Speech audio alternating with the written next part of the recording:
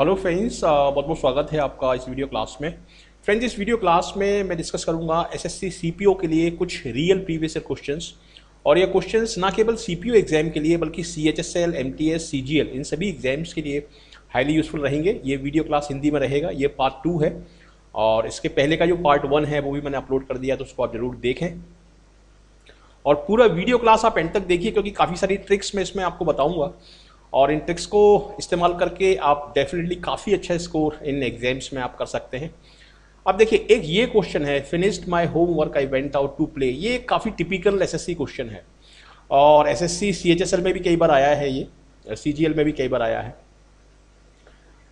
ठीक है तो अब यहाँ पर देखिए finished my homework I went out to play मतलब अपना होमवर्क फिनिश करने के बाद मैं बाहर चला गया खेलने के लिए। तो इसमें क्या हुआ है कि एक काम यहाँ पर ख़त्म हुआ है और उसके बाद दूसरा काम यहाँ से शुरू हुआ है। ये है फ़र्स्ट वर्क, ये है सेकंड वर्क। ठीक है? तो एक काम खत्म होने के बाद, एक काम का खत्म होना हम बताते हैं हैविंग प्लस वी थ्री से। ठीक है? हैविंग प्लस वी थ्री, जिसको हम बोलते हैं परफेक्ट पार्टिसिपल। तो इसमें आपका हैविंग कंप्लीटेड आएगा। ठीक है? हैविंग कंप्लीटेड परफेक्ट पार्टिसिपल बोलते हैं।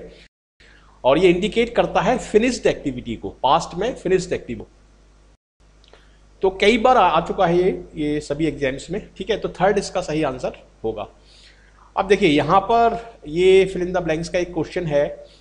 As the weekend finally rolled around the people were also too happy to laugh out the इसका मतलब ये है कि जैसे जैसे वीकेंड पास में आता गया। सैटरडे, संडे वैकेशन होता है, छुट्टी होती है, सारे लोग खुश एंजॉय करते हैं। ठीक है तो उसमें बात हो रही है इसकी। As the weekend finally rolled around the people were also too happy to laugh out the away वो किस चीज़ को मतलब छुट्टी को खुश होते हैं तो किस चीज़ को वो अवे यानी दूर कर देते हैं। वो अपनी चिंता, फ़िक्र को दूर कर देते हैं। तो इसमें जो सही आंसर होगा आपका, वो होगा laugh out the cares away ठीक है? Laugh out the care survey देखिए रियल एग्ज़ाम में आपको सेम ऐसे ही क्वेश्चन देखने को मिलेंगे, ऐसे ही इंस्ट्रक्शंस देखने को मिलेंगे, जैसे यहाँ पर आपके लिखा हुआ है तो ये रियल क्वेश्चंस हैं। तो इस पूरी वीडियो सीरीज़ को आप ज़रूर देखें और मेरे सारे वीडियो क्लासेस आप प्लेलिस्ट में जाके पूरे देखें डेफिनेटली बहुत फ़ायदा होगा। अब देखिए, एक ये फिलिंदा ब्लैंक्स का क्वेश्चन है। His contribution to my book it was substantial अब देखिए देखिए कंट्रीब्यूशन क्या होता है? कंट्रीब्यूशन का मतलब होता है योगदान। कंट्रीब्यूशन को हम confess debunk admitted acknowledge contribution को हम क्या करते हैं? कंट्रीब्यूशन को हम एक्नॉलेज करते हैं। उसको, उसकी यूजफुलनेस को हम मानते हैं। ठीक है? हालाँकि कन्फेस का मतलब भी स्वीकार करना होता है एडमिट का मतलब भी स्वीकार करना होता है, लेकिन इनको हम अलग सेंस में यूज़ करते हैं। जैसे क्राइम कोई होता है, कोई गलती होती है तो उसको कन्फेस किया जाता है। डी बंक का मतलब किसी चीज़ को रिवील कर देना। एडमिट एडमिट एक अलग वर्ड है। किसी के कंट्रीब्यूशन को हम ऑफिशियली जब एक्सेप्ट करते हैं तो उसके लिए सही जो वर्ड होता है, वो होता है एक्नॉलेज ठीक है? अब देखिए, यहाँ पर यहाँ पर मैं थोड़ा सा आपको ट्रिक बता रहा हूँ कि उसके कंट्रीब्यूशन को उसने एक्नॉलेज क्यों किया। यहाँ पर देखिए की वर्ड आ रहा है सब्सटेंशियल सब्सटेंशियल का मतलब है कि उसका जो कंट्रीब्यूशन था, वो काफ़ी अच्छा था, काफ़ी बड़े लेवल पर था सब्सटेंशियल था। ठीक है? तो इसलिए यहाँ पर हम सेकेंड ऑप्शन लगाएँगे बिकॉज़ ठीक है? तो I acknowledge his contribution to my book because it was substantial क्योंकि ये सब्सटेंशियल था अच्छा था मेजर था. ठीक है? सब्सटेंशियल का मतलब होता है कि अच्छी क्वांटिटी में होना या इंपॉर्टेंट होना. तो इसलिए यहाँ पर फोर्थ आपका सही आंसर होगा. तो इस तरीके से इनको यहाँ पर एग्जामिनर एक्चुअली क्या देखता है? यहाँ पर एग्जामिनर देखता है कि कॉन्टेक्स्ट के अकॉर्डिंग किस तरीके से आप वर्ड्स को सुटेबल वर्ड्स को आप यूज़ कर सकते हैं। ठीक है? आई होप आपको यह अच्छे तरीके से समझ में आया होगा। अब यहाँ पर देखिए I am on leave from tomorrow देखिए, यहाँ पर जब आप लीव की बात करते हैं तो लीव के साथ ऑन वर्ड आता है। जैसे I am on leave today मैं आज छुट्टी पर हूँ। ठीक है? लेकिन ये कंटिन्यूस टेंस है, क्योंकि एम लगा हुआ है, इसलिए ये कंटिन्यूस टेंस है। तो कंटिन्यूस टेंस के साथ तो हम आईएनजी फॉर्म ही लगाएँगे। लेकिन आईएनजी फॉर्म कौन सी लगाएँगे? देखिए, या तो आप बोल सकते हैं I am going on leave from tomorrow मैं कल से छुट्टी पर जा रहा हूँ। या गोइंग आप नहीं बोलना चाहते तो आप बोल सकते हैं proceeding I am proceeding on leave from tomorrow क्योंकि प्रोसीडिंग और गोइंग इन दोनों का मतलब सेम ही होता है। तो प्रोसीडिंग आप यहाँ पर बोल सकते हैं। ठीक है प्रोसीडिंग इसमें ए सही आंसर आपका होगा। मैं कल से छुट्टी पर जा रहा हूँ। अब देखिए, ये एक again fill in the blanks का क्वेश्चन है। और आपके जो रियल एग्ज़ाम होगा, उसमें क्वेश्चन मिक्स तरीके से आएँगे। एक question fill in the blanks का, फिर फिर एरर का, फिर ईडियम का इस तरीके से। तो सभी तरह के क्वेश्चंस में इसमें आपको करवाऊँगा। इसमें आपको क्लोज टेस्ट भी करवाऊँगा रीडिंग कॉम्प्रिहेंशन पैसेज भी करवाऊँगा, और जितने भी तरह के क्वेश्चन होते हैं, सब इसमें मैं आपको करवाऊँगा। The members could not arrive at a regarding the issue देखिए, यहाँ पर कीवर्ड क्या है? यहाँ पर देखिए एक्शन है पॉलिसी है कंसेंसस है जजमेंट है। देखिए, यहाँ पर सबसे बड़ा कीवर्ड जो है वो है मेंबर्स यानी कई सारे लोग हैं, ठीक है? तो कई सारे जब लोग होते हैं तो वो एक कॉमन डिसीज़न पर पहुँचने की कोशिश करते हैं, ठीक है? कॉमन डिसीज़न डिसीज़न पर पहुँचने की कोशिश करते हैं, जिसको हम बोलते हैं आम सहमति। जैसे चुनाव होते हैं तो चुनाव में सारे लोग एक एक कॉमन कंसेंसस बन जाती है कि इस व्यक्ति को वोट देना है। तो हज़ारों लोग, हज़ारों लोगों के बीच में एक आम सहमति बन जाती है। ठीक है, उसी को हम बोलते हैं कंसेंसस ठीक है तो मेंबर्स जो है, वो आम सहमति कॉमन एग्रीमेंट पर पहुँच गए। पहुँच नहीं पाए, ठीक है? तो यहाँ पर जो सही वर्ड होगा, वो होगा कंसेंसस एक्शन पॉलिसी जजमेंट नहीं होगा। जजमेंट एक पर्टिकुलर व्यक्ति का होता है। ठीक है? तो और अराइव के साथ इसमें एक्शन और पॉलिसी वर्ड नहीं आ सकते। अराइव एट एक्शन नहीं, ऐसे नहीं बोल सकते। किसी एक्शन पर पहुँचना एक्शन पर हम पहुँचते नहीं है एक्शन हम करते हैं। पॉलिसी पर हम पहुँचते नहीं है पॉलिसी को हम बनाते हैं। इस तरीके से आपको थोड़ा सा एनालिटिकल तरीके से इन वर्ड्स को समझना पड़ेगा। कंसेंस कंसेंसस पर हम पहुँचते हैं, आम सहमति पर हम पहुँचते हैं जजमेंट हम निकालते हैं। तो यहाँ पर देखिए कितनी बारीकी से एग्जामिनर आपकी आपकी जो वर्ड की नॉलेज है। ये कॉन्टेक्स्ट के अकॉर्डिंग किस तरीके से किस वर्ड को आपको यूज़ करना है, वो यहाँ पर चेक किया जा रहा है। यहाँ पर देखिए अगेन एक फिलर का क्वेश्चन है the mission of this institution is to minds young minds to explore their ability मतलब इस इंस्टीट्यूशन का जो मिशन है, वो यंग माइंड की एबिलिटी जो है, उसको उसको उसको उसको यूज़ करना है। अब देखिए, यहाँ पर सही वर्ड क्या होगा? यहाँ पर देखिए किसी चीज़ को जब हम कैटेलाइज एक वर्ड है, ये केमिस्ट्री में ये वर्ड यूज़ होता है। कैटेलाइज का मतलब है कि जैसे कोई एक्शन हो रहा है या कोई भी एक्टिविटी हो रही है तो उसको और ज़्यादा, उसको और ज़्यादा इन्हेंस कर देना। तो यंग माइंड की जो कैपेबिलिटी है, वो उसको इस, ये जो इंस्टीट्यूशन है अपनी एजुकेशन की मदद से उसको कैटेलाइज करता है, उसको स्टिमुलेट करता है। ठीक है तो कैटेलाइज यहाँ पर सही वर्ड होगा। बाकी कम्बैट ये तो आर्मी में यूज़ होता है कैकल और सर्कुलेट ये तो बायोलॉजी के वर्ड है।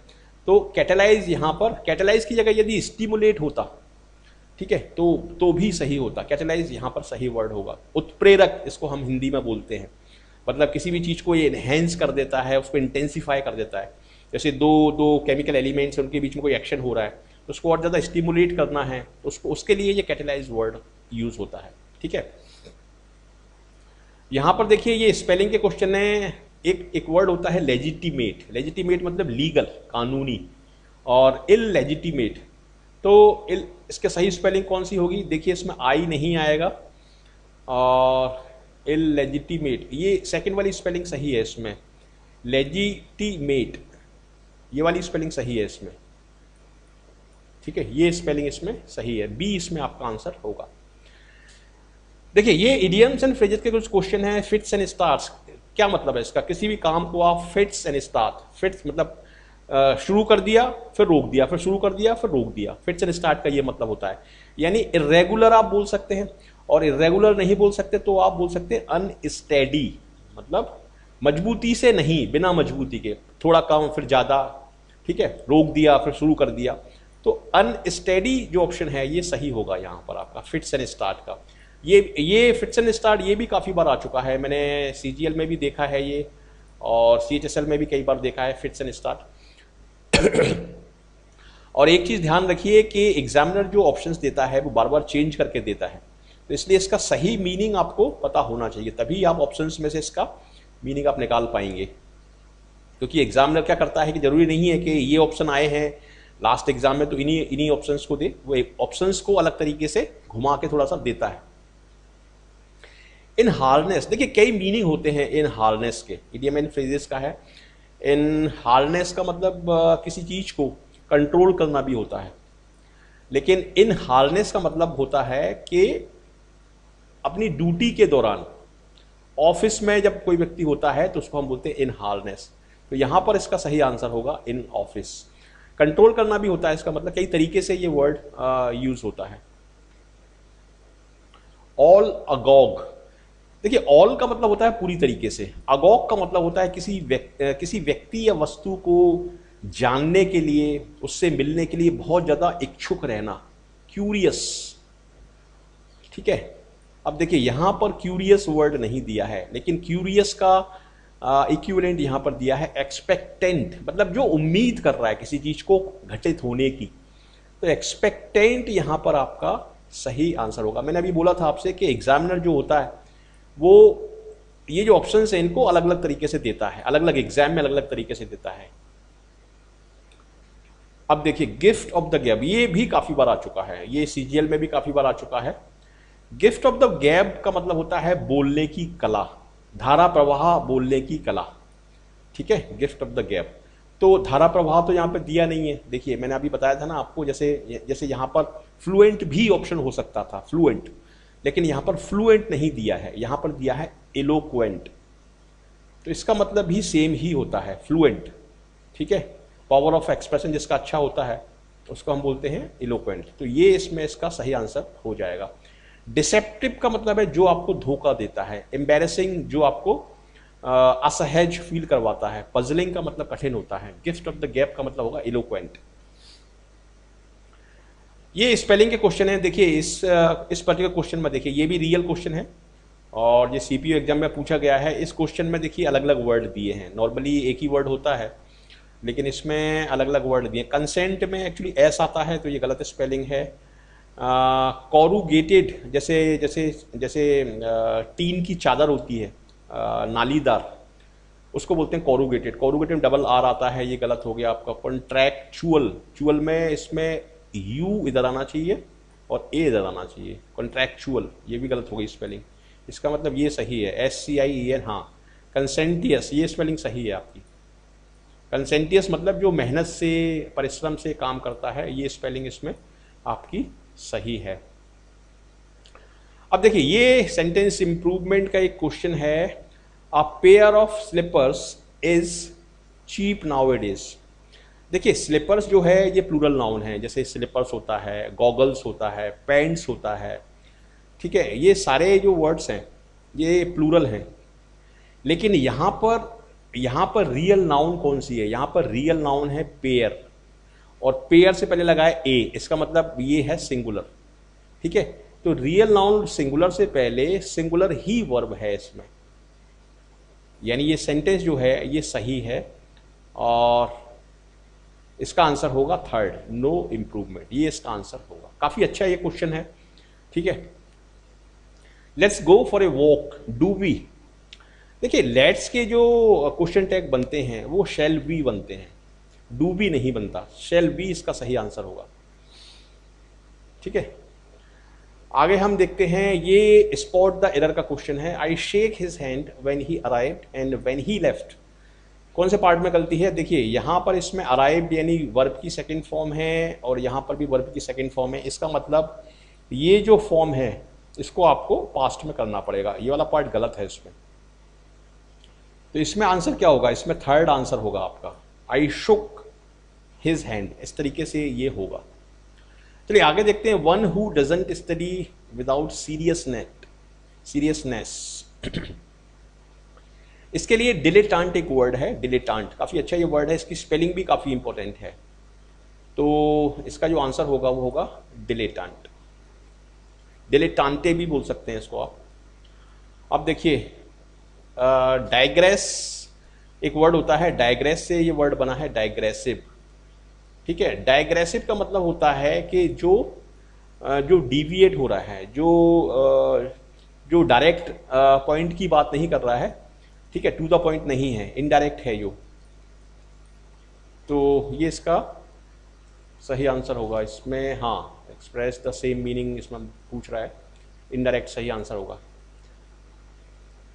आ, इसमें क्या पूछा जा रहा है? इसमें इसमें भी सिनोनिम पूछा जा रहा है इम्पीरियस इम्पीरियल मतलब राजाओं से संबंधित।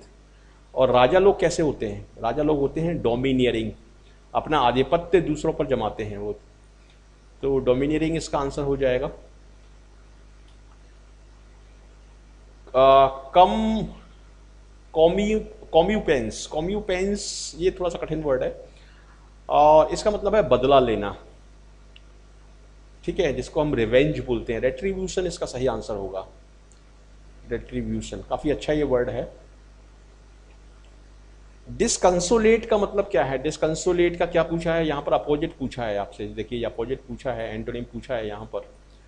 डिसकंसोलेट का मतलब होता है ग्लूमी अनहैप्पी ठीक है तो अनहैप्पी का उल्टा क्या हो जाएगा? चीयरफुल तो फोर्थ इसमें सही आंसर आपका होगा। ठीक है?